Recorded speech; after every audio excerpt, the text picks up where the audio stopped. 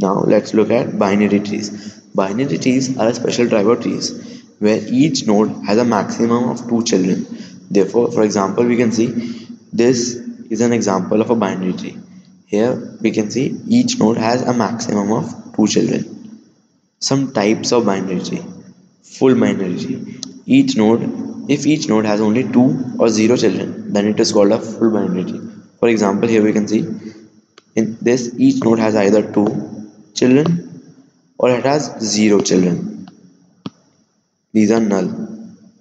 Thus it has either zero or two children. A complete binary tree. In a complete binary tree, all levels are filled except the last one and all the nodes on the last one are the left most possible which means that all the levels are filled as we can see all of these levels are filled they have the maximum number of nodes that they can have.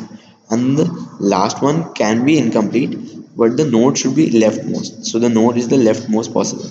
So if we had two nodes in the last level then they would be like this. Perfect binary tree. Here all internal nodes have two children and all leaves are at the same level. Therefore we can see that all leaves are at the same level. These are the set of leaves. And each internal node these are the internal nodes.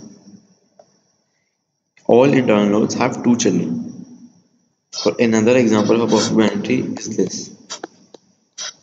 Leaves are at the same level and each internal node has two children. Balanced binary tree if the height is of order log n where n is the number of nodes then we say that the, that the binary tree is balanced degenerate binary. Tree if a binary tree is like this basically it has only one each node has only one child and they basically the here the height is equals to the number of nodes. Then this is called a degenerate binary tree. Now let's look at some properties related to binary trees. Some properties related to binary trees are maximum number of nodes at any level L is 2L minus 1 to the power L minus 1. Here we can see intuitively as at level 1 there is only one number of nodes. And if we want maximum number of nodes we want each level each level should be filled. Therefore it should be a perfect binary tree and here the number of nodes is 1 here the number of nodes at that level is 2 here the number of nodes is 4. Therefore the number of nodes increases by 2 each subsequent level. Therefore the maximum number of nodes is 2 to the power l minus 1. Maximum number of nodes with height h is 2 to the power h minus 1.